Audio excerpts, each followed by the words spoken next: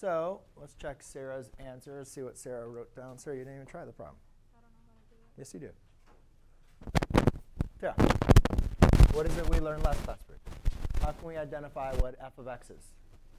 Well, we know that if we take the integral of f prime of x dx, right, that's going to give us our function f of x, right?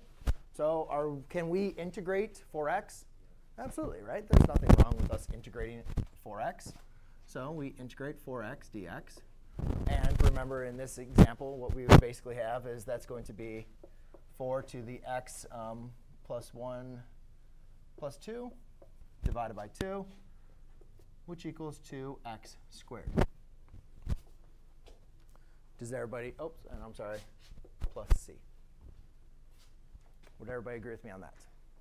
So we can now say that f of x equals 2x squared plus c.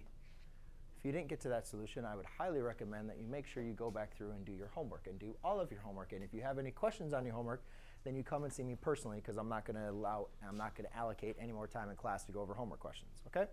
So make sure you guys practice that. That is something that should be routine because that was what was.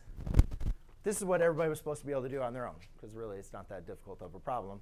Um, but now we got to enter in the new stuff, which was a challenge, which I didn't teach yet. That's what I was entering into this question for you guys. So basically what we're going to want to do now is this is what we call our general solution.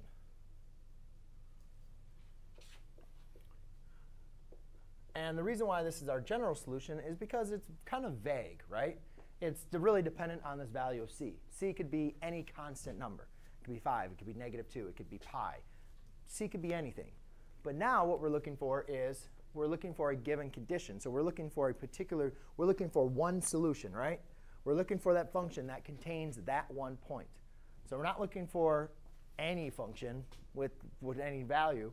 We're looking for an exact function. Well, um, if you guys can look at this, we have f of 0 equals 6.